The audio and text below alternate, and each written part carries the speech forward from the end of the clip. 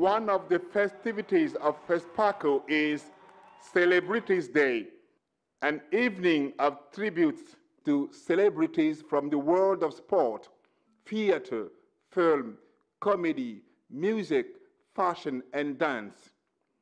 The evening was punctuated by music, sketches, speeches, and awards. As a film actor, I can only be happy to receive such an award. I'm pleasantly surprised to be honored in this country. I thank and congratulate the organizers of the FESPACO and the whole city of Ouagadougou. I accept this prize in the name of friendship between Senegal and Burkina Faso and in the name of Africa Youth and Pan-Africanism. I thank Burkina Faso for this beautiful recognition of me. It goes straight to my heart and I love this country very much.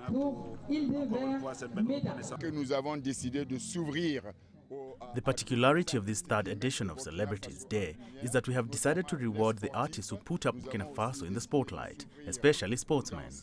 We have decided to open up to dancers, musicians, poets, and all artists in general.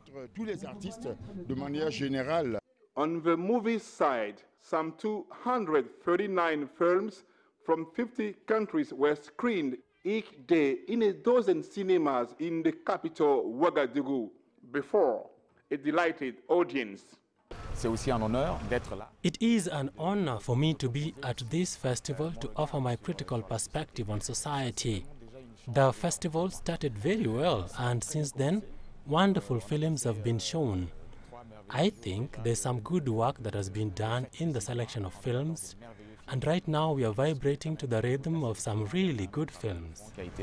The opening ceremony of the FESPACO began with a series of shows, including a tribute to the Burkinabe National Armed Forces. The tribute seemed like a hymn to the resistance against terrorism and COVID-19. The holding of the FESPACO is a hope and an act to prove to those who want to give the impression that life must stop with terrorists that we're sure of one thing that we will defeat terrorism because I usually say that there is no possible future for terrorism. In total, 17 films were in the running at Africa's premier film festival. But at the end of the competitions, Somali filmmaker Khadar Ahmed won the top prize for The Grave Digger's Wife, which he wrote and directed. The award ceremony was attended by President Roch Marc Christian Kabore from Burkina Faso and President Macky Sall from Senegal, guest of honor of this biennial 17th edition of FESPACO. Desiree Canon, Sie geht ziehen.